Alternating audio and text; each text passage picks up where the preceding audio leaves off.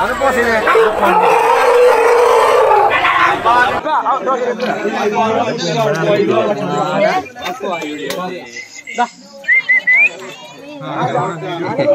അഞ്ചു കേട്ടോ കരുളായി വനത്തിൽ നിന്നും കാട്ടാനക്കുട്ടി വഴിതെറ്റി നാട്ടിലെത്തി. ബുധനാഴ്ച രാത്രി ഒൻപത് മണിയോടെയാണ് കരുളായി വളയംകുണ്ടിലെ ജനവാസ കേന്ദ്രത്തിൽ കുട്ടിയാന പ്രത്യക്ഷപ്പെട്ടത്.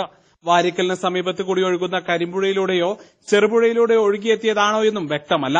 വളയംകുണ്ട് ഭാഗത്തെ ജനവാസ കേന്ദ്രത്തിലൂടെ ഓടി നടന്ന ആനക്കുട്ടിയെ നാട്ടുകാർ ചേർന്ന് തടഞ്ഞുവെച്ചു നാട്ടുകാർ വിവരമറിയിച്ചതിനെ തുടർന്ന് കരുളായി വനം range officer M N Najmal അമീന്റെ നിർദ്ദേശപ്രകാരം നെടുങ്കയം ഫോറസ്റ്റ് സ്റ്റേഷനിലെ വനപാലക സ്ഥലത്തെത്തി കുട്ടിയാനയെ കൂട്ടിക്കൊണ്ടുപോയി. News now Karulayi.